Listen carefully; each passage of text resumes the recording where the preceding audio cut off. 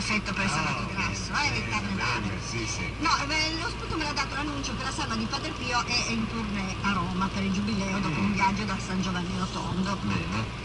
Me, povero santo, cioè, non mi danno pace, non mi danno tregua. No, è sempre in tour. L'altra settimana abbiamo detto che vogliono fargli una statua alta come Manzinga, adesso lo portano a Roma per il giubileo, ma un po' di pace mai, l'hanno già portato.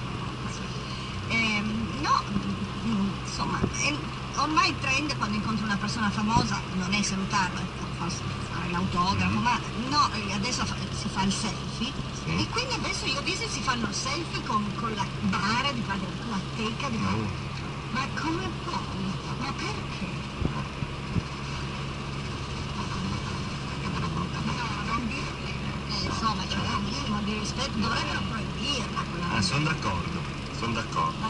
Ci sono dei posti dove è vietato fare delle foto in quel contesto di qui semmai. Eh.